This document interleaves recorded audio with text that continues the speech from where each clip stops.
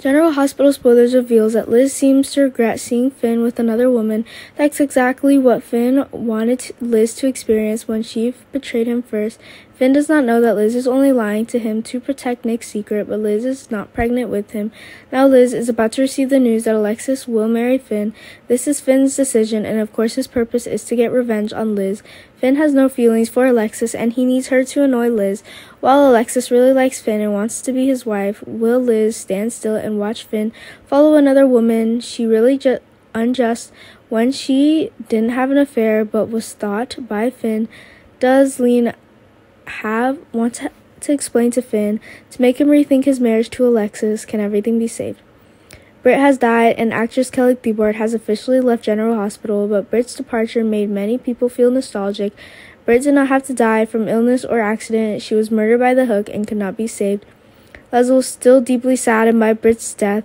Scott knew how knew well how important Britt was in Liesl's life, so Scott stayed by Liesl's side because he was worried she wouldn't make it. Scott tries to encourage Liesl to calm down and organize Britt's funeral. The funeral had to be done as neatly as possible so that Britt wouldn't have any regrets. Liesl is Britt's mother, and this important task she must complete. In addition, Scott has another plan after the completion of the funeral. He suggested that they go abroad for a while to relax. Liesl needed to take to not let the spirit relax and no longer think about painful things.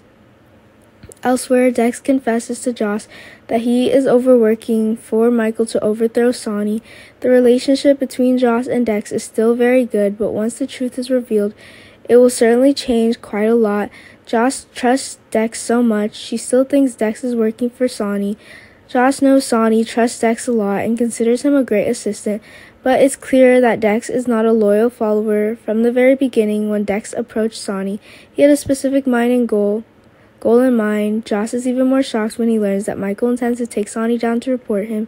This happened a long time ago, so Joss did not expect Michael to hold a grudge until now, but contrary to fans' expectations, Joss did not object to Dex and Cam teaming up to destroy Sonny.